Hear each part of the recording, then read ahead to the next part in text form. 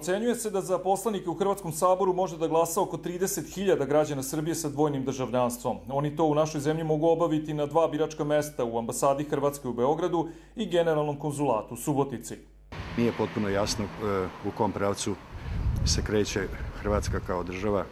Mislim da postoje ogromni problemi koje treba rješavati i to vrlo skoro. Zato što tamo sam rođena, a srce mi je ostalo tamo, a ovde živim. Mislim da je važno, bar na neki način, da i mi sudjelujemo u nekoj, nekom prosperitetu Hrvatske sa ovih prostora.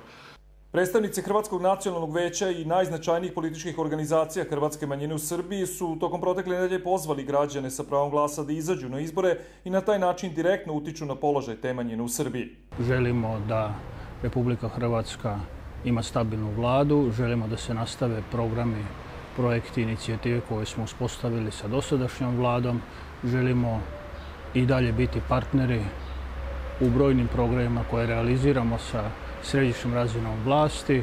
Vjerujemo da će tako biti i dalje. Ovo je naš mali, skromni prinos jednom takvom našem naumu. Na parlamentarnim izborima u Hrvatskoj pravo glasa ima 3,86 miliona birača koji u Hrvatskoj i inostranstvu glasaju na oko 7000 biračkih mesta. Građani do 19 časova biraju između 192 liste sa 2700 kandidata.